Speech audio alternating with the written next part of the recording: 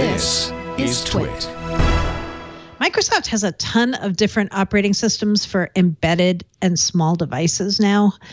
And I don't know if you remember, maybe like three, four years ago, they had so many different flavors of Windows 10 for IoT devices. They were all different kinds of variants of Windows 10 for IoT. Now they're down to two, which is Windows 10 IoT Core for really small devices and Windows 10 IoT Enterprise for bigger devices where you want the full manageability of Windows 10 and uh, be able to use it in conjunction with your tool existing tools and all. So what they're going to do now is bring this down to one.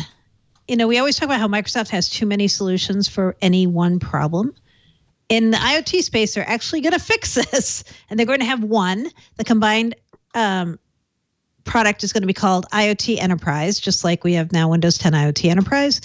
Um, it's going to be out in 2021, so next year. And they're making a lot of changes to it. So they're taking Windows 10 Core, Windows 10 Enterprise, smushing them together, but at the same time, reducing the footprint by 40%. Um, and they're going to enable over the air updates for it. It's also going to be able to run Linux workloads in containers um, through Azure IoT Edge on Windows. So there's a whole bunch of different things coming up for this product family in the next year, and they're going to be testing it over the next few months. So if you're a customer of IoT Core and IoT Enterprise, you probably want to keep an eye on that. Uh, I had a couple people ask me, what about Azure RTOS, real time operating system? Is this going to replace that?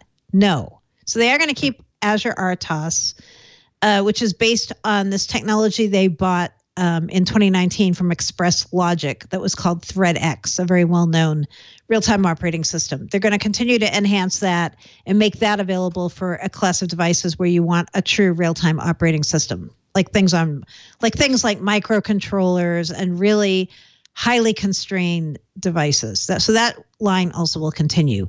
But I'm really happy to see us going down to one Windows 10 IoT product after having had so many of them and trying to keep track of so many of them over the years.